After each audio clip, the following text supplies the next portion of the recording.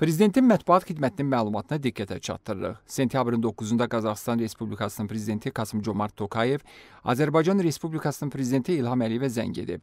Qazaxıstan prezidenti ilk növbədə ölkəmizdə parlament seçkilərinin uğurla keçirilməsi və Yeni Azərbaycan Partiyasının inamlı qələbəsi münasibətilə dövlətimizin başçısına təbriklərini çatdırıb.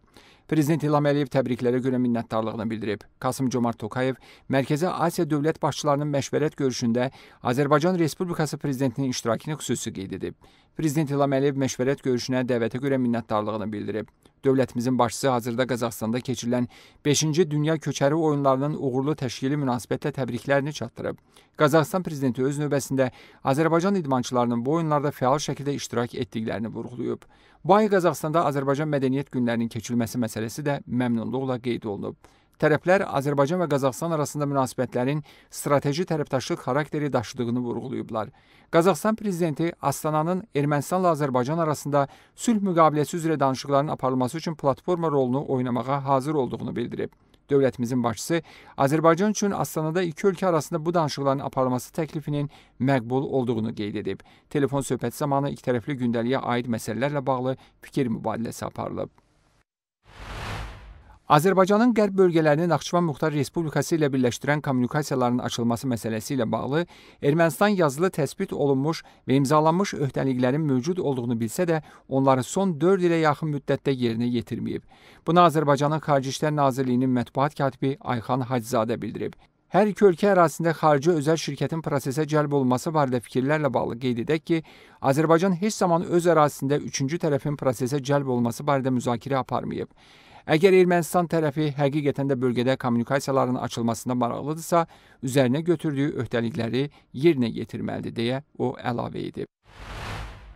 Sentyabrın 1-də keçirilən növbədənkənar parlament seçkiləri ilə əlaqədar Mərkəzi Seçki Komissiyasına daxil olan müraciətlərə baxılaraq müvafiq qərarlar qəbul olunub. Komissiya sədri Məzahir Pənahov bildirib ki, sosial şəbəkələrdə seçki prosesini əks etdirən 508 görüntü tirajlanıb. Görüntülər 25 seçki dairəsindən 49 məntəqəni əhatə edib. MSK sədri qeyd edib ki, həmin görüntülərin izlənməsi bir gün çəkəcək.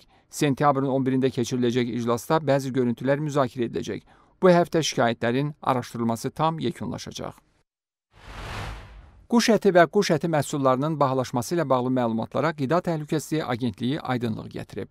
Qurumdan bildirilib ki, bahalaşmaya yem və yem əlavələrinin səbəb göstərilməsi əsassızdır.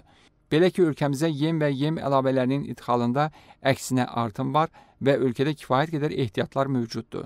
Hazırki dövr yem məhsullarının qiyməti üçün ən münasib dövr hesab olunur. Agentlikdən həmçinin bildirilib ki, toyuq ətinin qiymətinə təsir edən əsas amillərdən biri damazlıq yumurta və cücələrin qiymətində baş verən artımlar ola bilər ki, bu hal hazırki dövr üçün müşahidə edilmir. Azərbaycana qrip əleyhinə peyvənd gətirilib və bugündən vaksinasiyaya başlanılır. Səhiyyə Nazirliyindən bu barədə məlumat verilib. COP29 ilə bağlı tədbirlərə cəlb edilənlər də mövsümi qripə qarşı peyvənd olunmağa çağırılır. Ermənistanda 3 nəfər qərbi Nil virusundan həyatını itirib. Bu barədə Ermənistan Səhiyyə Nazirliyi məlumat yayıb. Qeyd edək ki, daha əvvəl virusa yoluxmuş bir xəstənin öldüyü bildirilib. Son iki ölüm halı isə xroniki xəstəlikləri olan 80 yaşdan yuxarı vətəndaşlarda qeydə alınıb.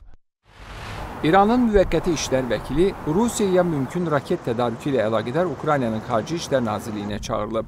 Belə ki, Şəhriyar Amuzəqara Rusiyanın ballistik raketlərlə təmin edilməsi barədə məlumatın təsdiqlənəcəyi təqdirdə nəticələr barədə sərt xəbərdarlıq edilib.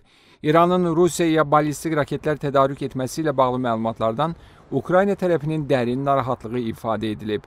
Xatırladaq ki, The Wall Street Journal nəşrinin məlumatına görə Rusiya İrandan qısa mənzilli ballistik raketlər alıb. İran deputatı Əhməd Baxşeyiş Ərdəstani Tehranın Rusiyaya raket verdiyini təsdiqləyib. O qeyd edib ki, bu barter müqaviləsinin bir hissəsi olub.